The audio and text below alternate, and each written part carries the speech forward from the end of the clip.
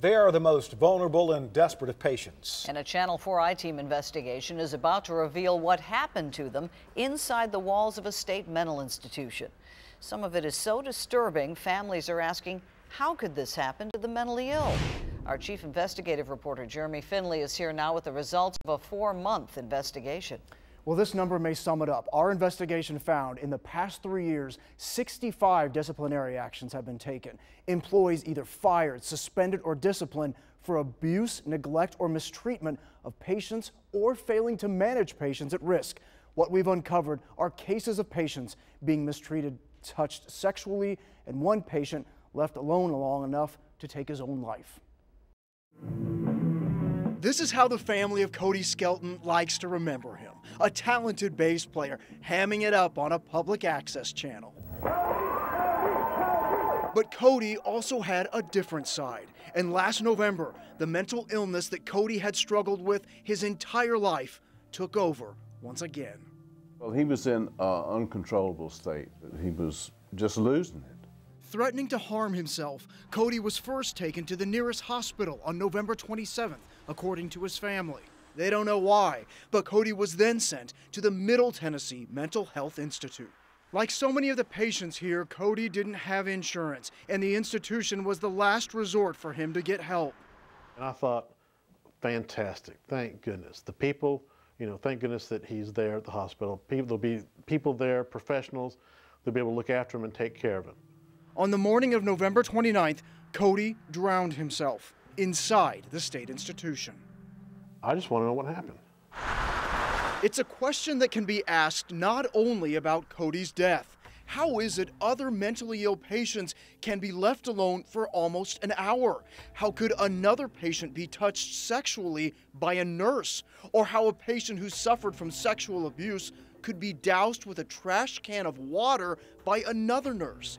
The Channel 4 I team found all that and more happening to mentally ill patients in a facility run by the state.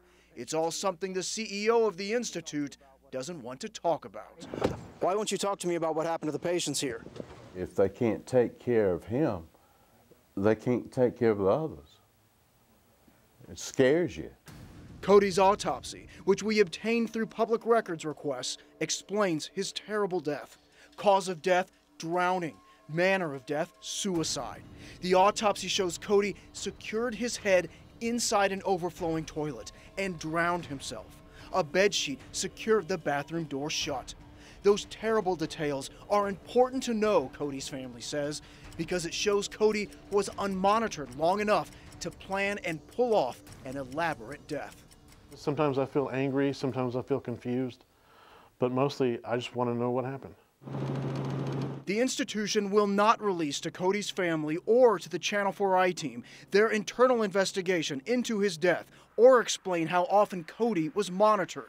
But their own internal policies for handling management of patients at risk states when a patient is placed on suicide precautions, the patient shall be monitored constantly and the bathroom should be locked at all times.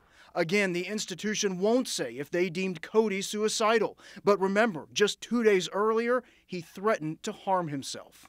Cody needed help. And internal disciplinary records obtained by the Channel 4 I team raise serious questions of how other patients were treated. One report states a nurse straddled a male patient and took his hands and rubbed them on her chest, thighs, and back. The nurse denied doing it, but admitted she kissed him and was suspended. Yet just four months later, that same nurse was fired for failing to check on two patients for nearly an hour, patients who were supposed to be under intense observation. Then there's this nurse, suspended for pulling on a female patient's arms to get her out of bed, and then dumping a trash can of water on the patient's head. The report reads the nurse's actions had the potential to re traumatize the patient with a history of physical and sexual abuse. And then there's this report of another nurse suspended when she and her patient were found having their hands around the other's shoulders and neck area. At the end of the encounter, the patient was observed to be lying on the floor. Miss Gilligan? After the CEO of the state institution, Candace Gilligan, refused our repeated requests for an on camera interview, we went to the Institute to get answers. I wanted to speak to you about the cases of the patients here. Ma'am, please let me talk to you about what happened. Talk to you, sorry. Why won't you talk to me about what happened to the patients here?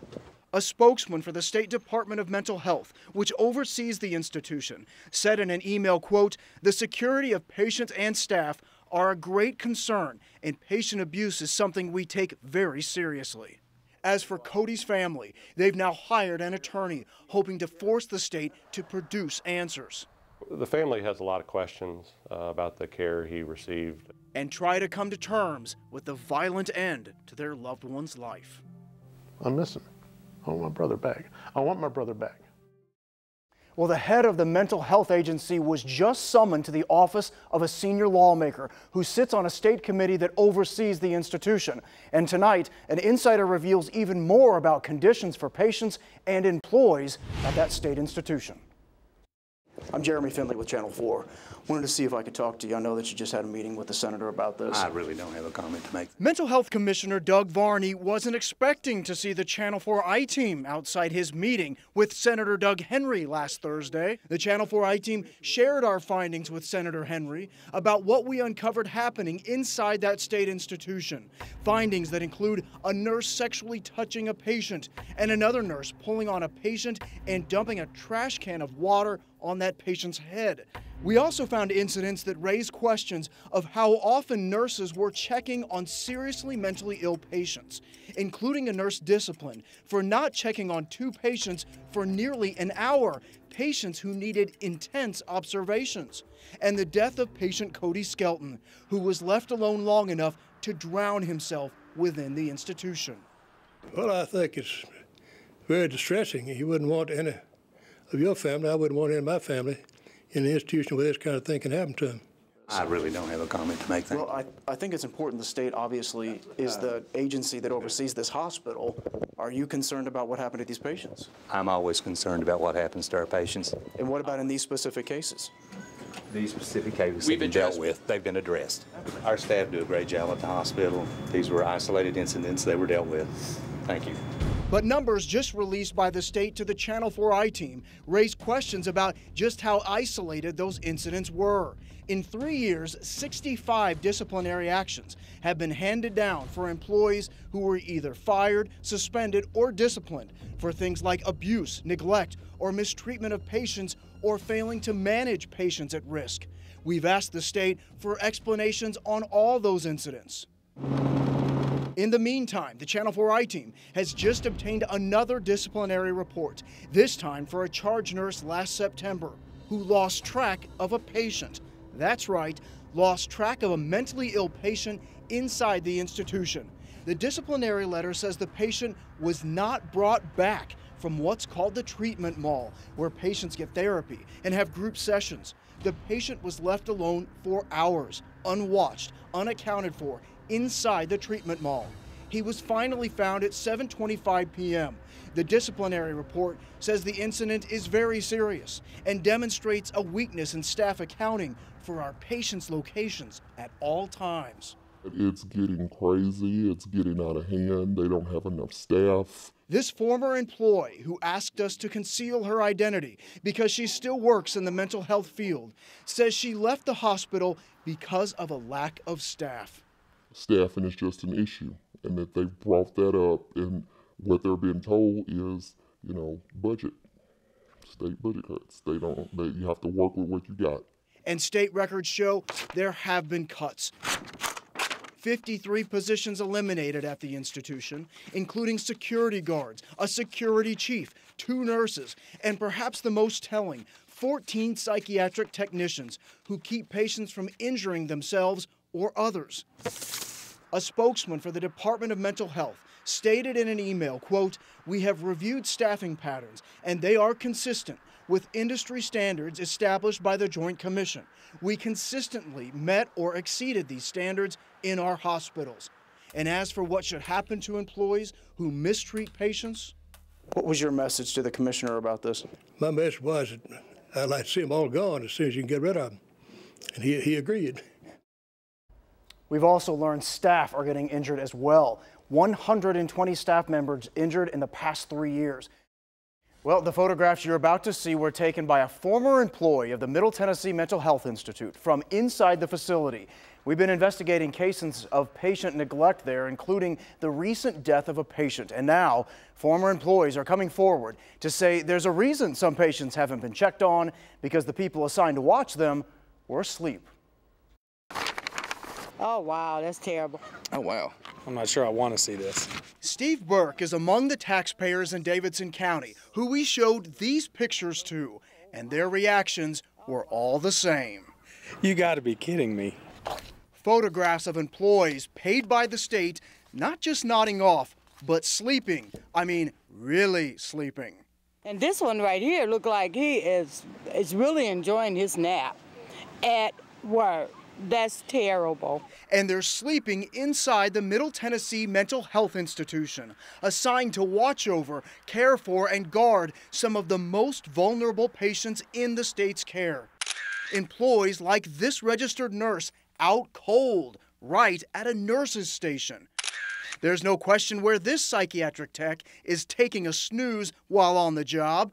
What better place than again, right there at the nurse's station?